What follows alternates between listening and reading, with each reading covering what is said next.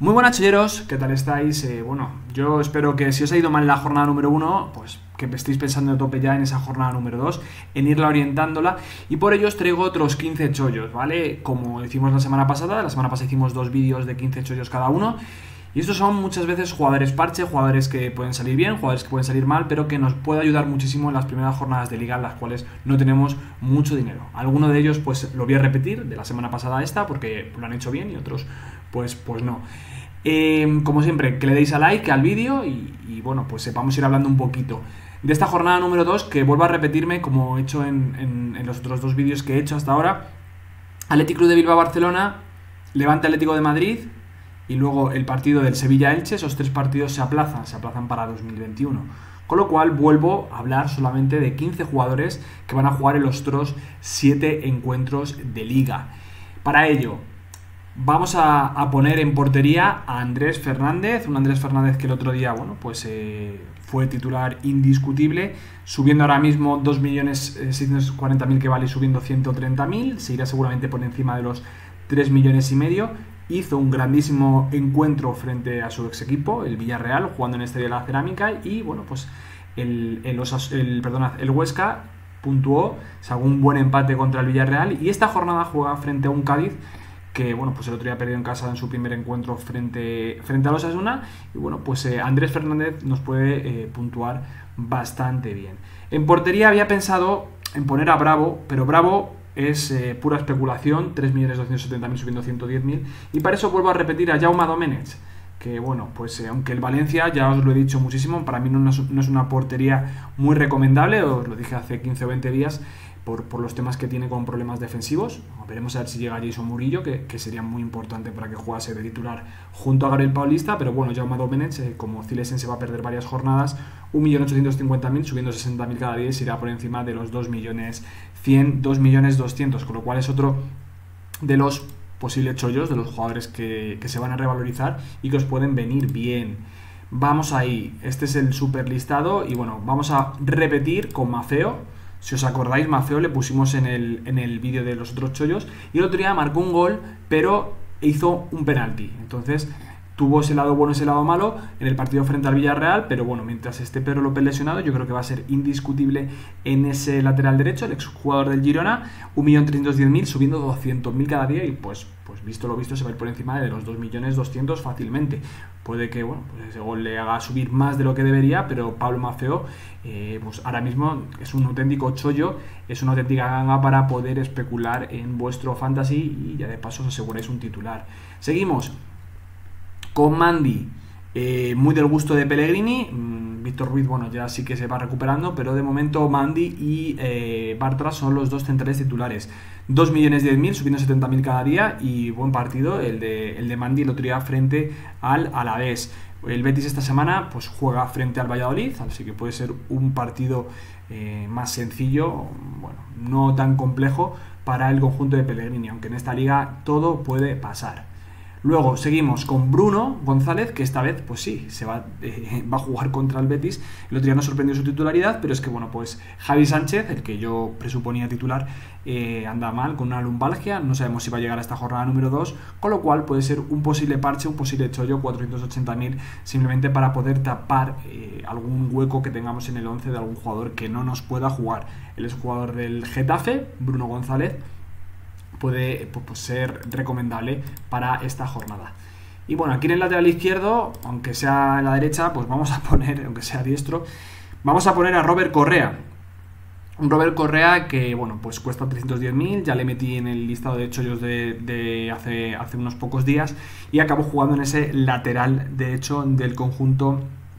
de Eibar. Lo que pasa que, bueno, muchos me preguntáis por Tejero y me decís, ¿es Roberto eh, Correa titular indiscutible para toda la temporada o Tejero le va a quitar el puesto? Al final con Mendilibar nunca se sabe, pero de momento esos 310.000 eh, nos puede dar pues esos partidos de una pica o tal y, además que se está revalorizando un poquito Robert Correa. Eso sí, a largo plazo no le veo un jugador muy interesante.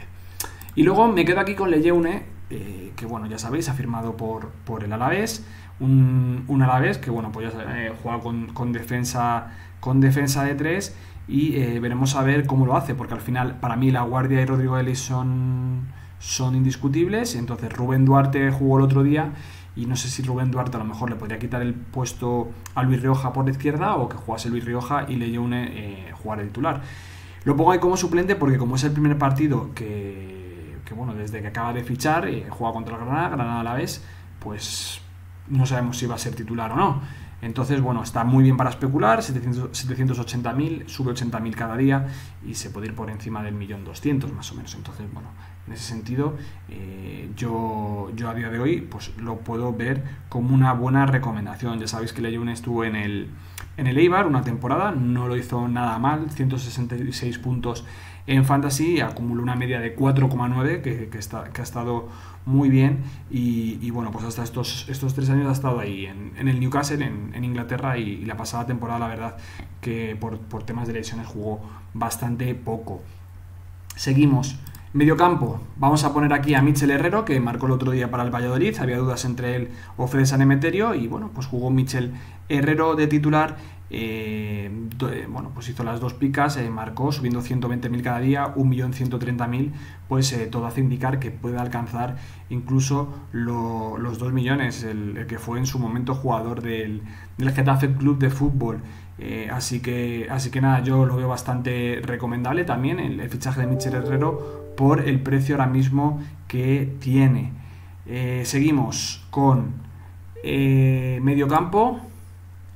Vamos a poner aquí a Roberto López. Un Roberto López que el otro día pues fue titular en la Real Sociedad, nos sorprendió a todos y, bueno, pues eh,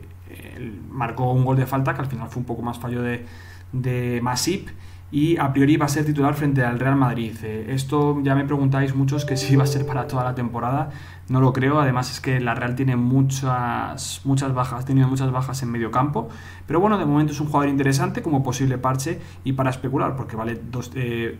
370.000, ha subido 130.000 de un día para otro y se puede ir fácilmente por encima del millón de euros. Luego seguimos con Enremor, otro que repite del listado de chollos de la semana pasada y nos dio la sorpresa para bien. Este jugador,